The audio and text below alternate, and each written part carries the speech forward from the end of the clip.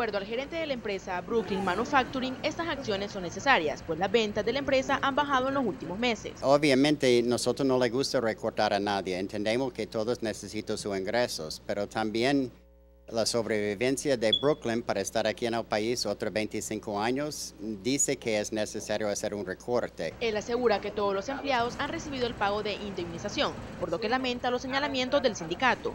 Y la empresa hasta está apoyando, pagando de acuerdo a la ley su indemnización hasta la fecha que trabajar en el año. Como siempre nos indemnizaron nuestros empleados cada enero, no tenía acumulado un derecho ninguno trabajador, estamos corriente. Además dijo que se les notificó con tiempo para que buscaran otra oportunidad laboral. La idea de, de anunciarlo antemano es para apoyar con la gente, no fregar a nadie. Sin embargo, los sindicalistas aún se mantienen en protesta y aseguran que esta medida continuará hasta que sean instalados en sus puestos de trabajo. Para Teleprensa, Canal 33, Jennifer Flores.